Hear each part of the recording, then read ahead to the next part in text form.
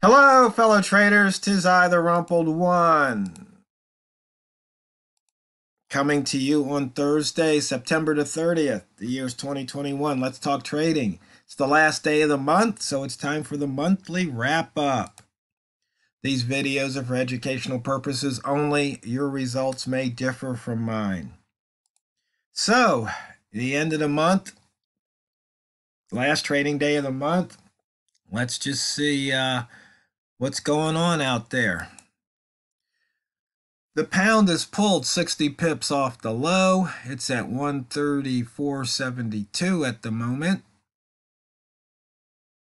And we're 281 pips below the monthly open and 128 below the previous month's low.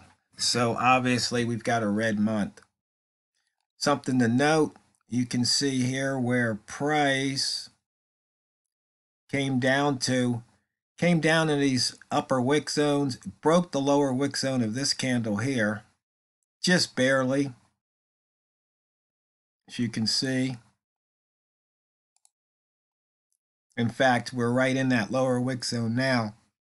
So you might expect price to push up. But if it were to break, uh, let's see, 134.50, it might continue downward. And if it does, then once again, you see it's in these upper wick zones and in the body of, let's see, what candle is that? Uh, December's candle. For the week, 129 pips below the previous week's low. And if you're just tuning in, all the uh, weekly open gaps have filled. You can see we took out the weekly pivot there. For the day, 63, 62 pips off the low. Uh, we're definitely in the upper rat zone, two pips off the daily high. But we're below the opening range for the year.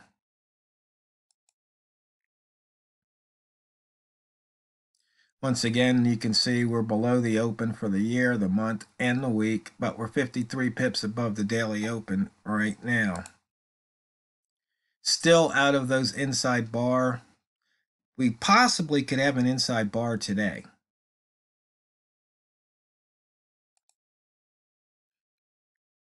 Range is only 65, only one pair over 100 pips.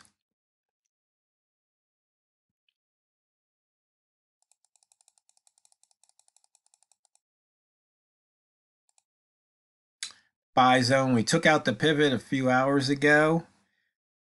You can see here, if you had taken that short, you would have gotten your fingers burned. But if you would have looked left, you'd see that you were in those lower wick zones. So chances are price was going to push up.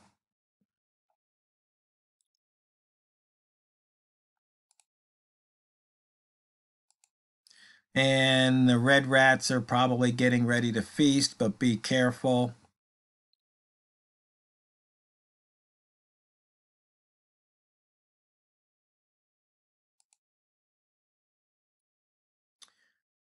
For the uh, the pivot trading plan, it seems these past couple of days that these biases uh, around the pivot have definitely been uh, been wrong.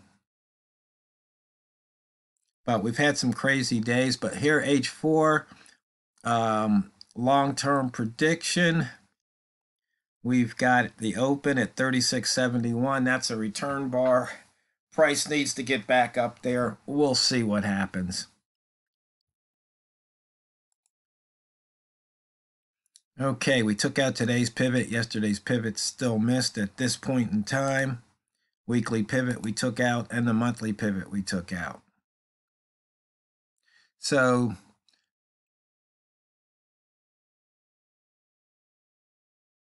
I was wondering, we can probably look at where the, uh, tomorrow we'll know where the monthly pivot is, and we'll see, uh, we can target that pivot.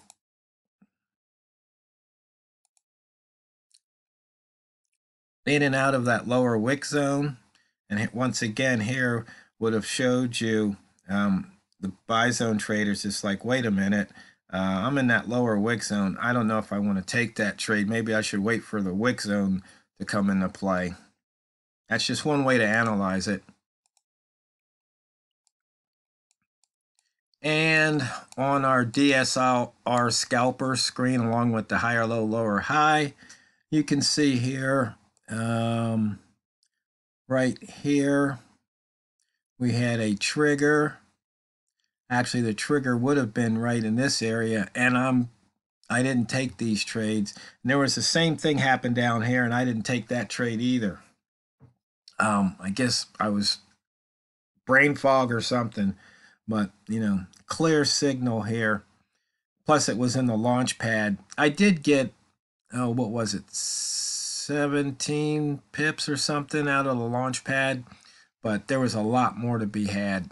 In fact, I even called out a uh, this return bar here, but I exited out somewhere around here.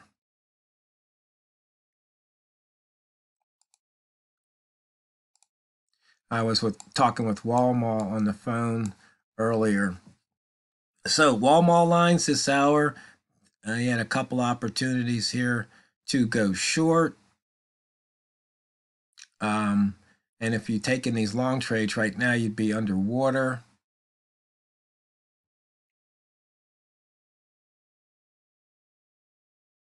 In fact, I need to ask Walmart about that.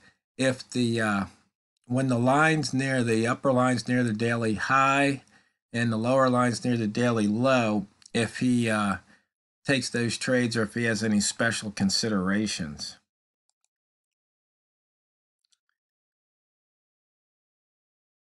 So you can see we're in the upper rat zone for the day, putting in a two ball on the H1.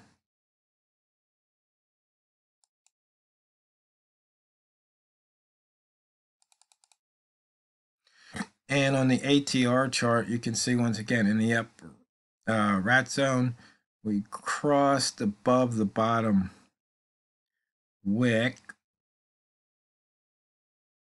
Um, bottom wick, we crossed above the uh, bottom of the uh, previous can day's candle here, making a new high this hour, put in the low six hours ago.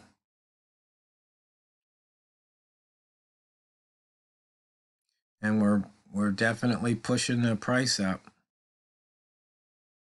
Previous day's mids at 82, which would probably that be a nice 50% retrace for you Fibonacci traders.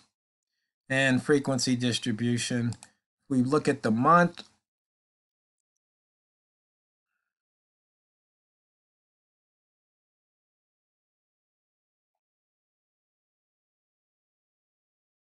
Let's see, we don't have the ranges high enough for the month to make any sense. So I'd have to go in and change those.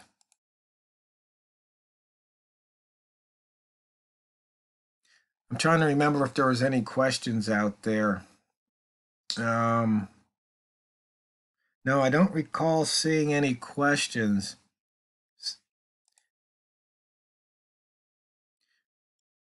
Today's H1 ranges, as you can see here, have been back to what we'd almost consider normal. And then if we can take a look here at the monthly range, 501 this month, which seven months ago we had one at 675. So over the last hundred months, which is what eight years and a quarter or so and a third. This 501's at the 61 percentile. Maybe, yeah, I was thinking maybe we could if we change that to 24, just look at the last two years worth of data. But I usually like to use it as usually around 100 or more. But once again, when you get to the month, you probably don't really care about eight, nine, ten years ago, even five years ago, excuse me, you're probably more interested in the more recent months to get an idea. Oh, and if you're wondering why there's this funny shading, that's just the uh, sweet spots gold indicator I have out there, but I don't have the uh, price boxes because when you get to the month, it um scrunches things up. But I should probably put the auto adjust function on there. So now they're, they're 100 pips apart.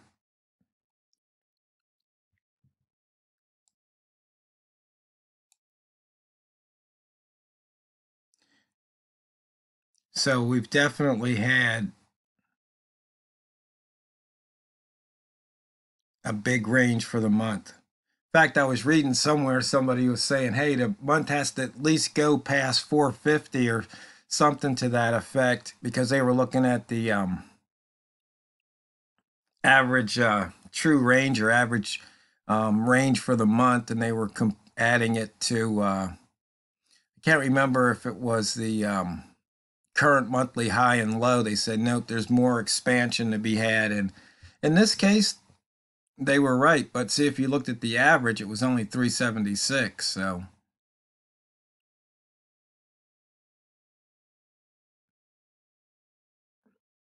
That didn't happen. I think we put that the big range in yesterday. Or one of the big ranges in. Yeah, 143 and then the day before 197. So there were some big ranges.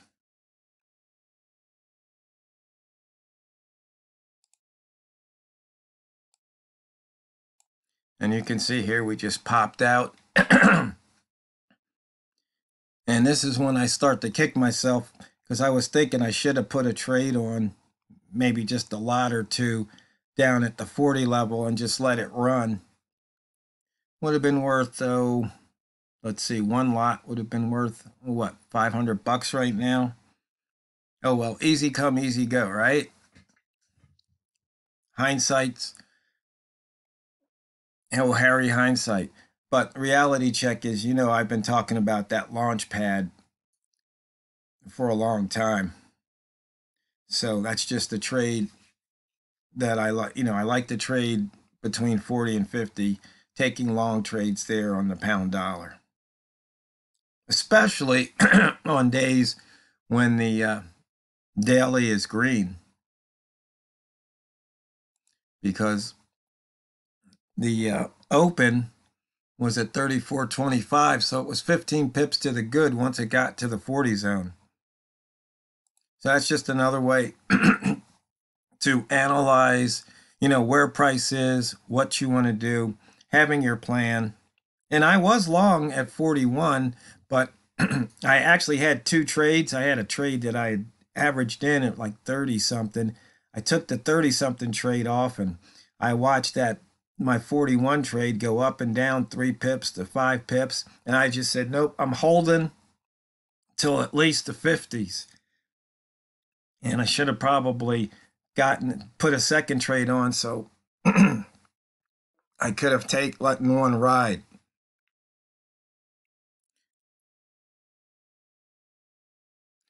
So, fellow traders, that pretty much is going to wrap it up for the month. Um, we'll just have to wait and see how far does price hit 3500 does it hit 3600 so i guess we'll go over that tomorrow. And i hope everybody had a profitable month profitable trading day also. And just remember when you uh, sit down at your trading platform it's not what you trade, it's how you trade it. So go out there and drain the banks. This is the Rumpled One. Over and out.